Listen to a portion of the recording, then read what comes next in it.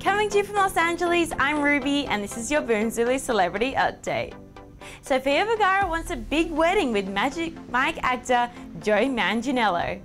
The star of Modern Family initially asked her fiance to get married in Vegas, but because it is his first wedding, she wants it to be special. Vergara was previously engaged to Nick Loeb, who she split up with not long before she met Joe. Kris Jenner thinks she failed Bruce Jenner. The 59-year-old reality TV star is reportedly devastated she didn't do more for her ex-husband when he made the decision to become a woman. Ed Sheeran catches up with Elton John twice a week.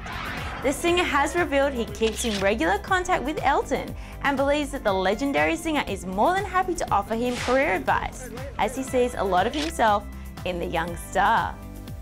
To see your photos and videos featured on Boomzulu, upload them via boomzulu.com or via the Boomzulu app.